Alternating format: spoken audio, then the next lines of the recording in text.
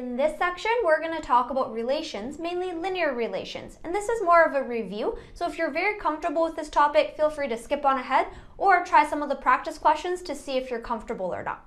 All right, before we talk about a relation, we have to mention what variables are. So variables are these letters, X, Y, Z, A, B, C, T, N, any letter you want, that are used to keep track of quantities, meaning numbers. So quantities is just another word for numbers.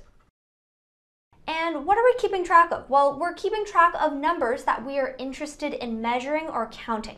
For example, if you're interested in measuring someone's height, someone's weight, how quickly they can run, uh, count the number of apples in a supermarket, or if you want to count money. These are all quantities and we can use variables to represent these quantities. So these variables, these x, y, z letters, they don't just take on one number, they take on many different number values. Now, we're often interested in how two different variables interact with one another. And how they interact, this is called a relation. So pretty much a relation describes how the two variables interact or how the two variables are connected. So we can represent relations using many different ways.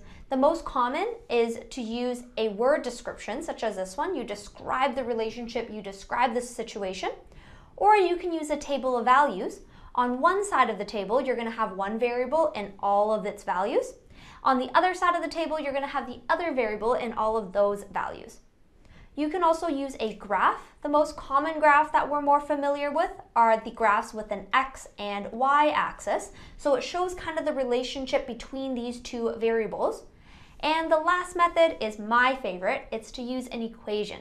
Now, it's my favorite because I'm lazy and I don't like to write out a lot of things. Equations is the simplest form. You see that you have both variables in the same equation, so that relationship is described using that equation.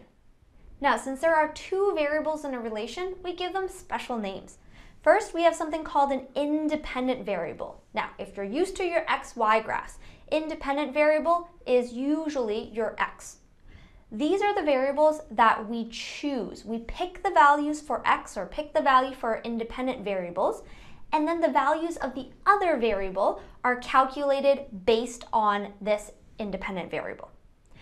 And then the other variable has the name dependent variable. So these are the values that we calculate. So these are usually our y values if we're looking at an xy variable relationship. And these values are calculated based on the value of the independent variable. So let's take a look at an example here because I know this can be a little confusing. So our first example, you have the employee's daily pay, so how much pay they get to take home, versus the number of hours they worked. So let me ask you this.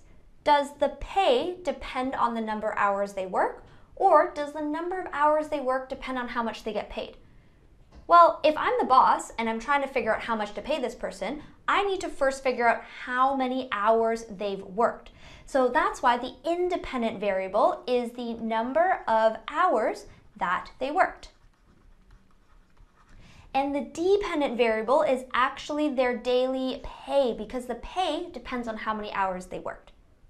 Now let's take a look at the second example. We have the height of the tree versus the age of the tree. Now, does the height of something depend on how old they are or does how old they are depend on the height? Well, think about a baby. You can think of a tree or a baby or a puppy, anything that grows. The older they are, usually, the taller they get, right? So the height actually depends on the age. So the independent variable here is going to be the age of the tree. We get to choose what age they're at. So let's say I chose, okay, let's look at this tree at age three years old. Then I can see what the height is at that corresponding age. So since we choose the age, that is our independent variable.